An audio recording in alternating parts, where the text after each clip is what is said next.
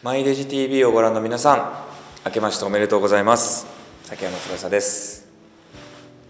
えー、2021年は早かったですね。いろいろあのまあ、コロナ禍っていうことも関係してるのかどうかあれですけどこの2年すごく早かったと思ってでもそんな中であのお芝居もそうですし音楽もそうですけどいろんなことに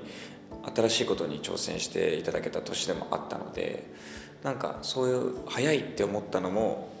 充実していたからこそそうやって感じるのかなっていうのもあるので本当にあのありがたい1年だったなと思います。プロデュースしたカレーがありましてあの第1弾第2弾と作ってて第1弾が欧風カレーでで新しく出たのが第2弾でスープカレーなんですけど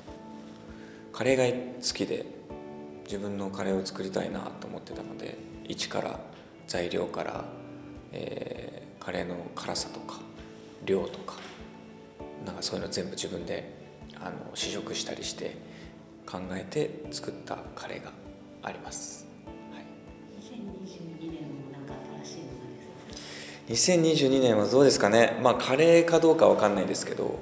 まあ、なんか新しいプロデュース商品が作れたらいいなと思ってます。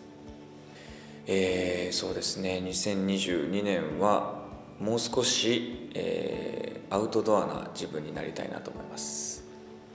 はい、ちょっとすごいインドアであの基本的に家から一歩も出たくない休日は人なんですけどあのちょっとアウトドアなアウトドアな趣味をちょっと増やしたいなと思ってはい。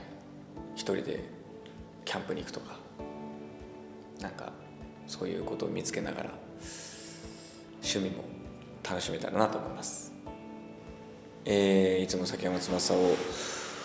応援してくださってる方はありがとうございます。そして初めましての方これから白鸚記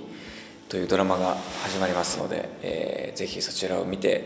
えー、もし面白いなって思った方は、え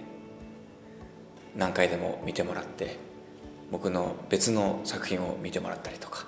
なんかそういう風にしてもらえたらなと思います。まずは、えー、箱置のドラマを、えー、最後まで見ていただけたら嬉しいです。よろしくお願いします。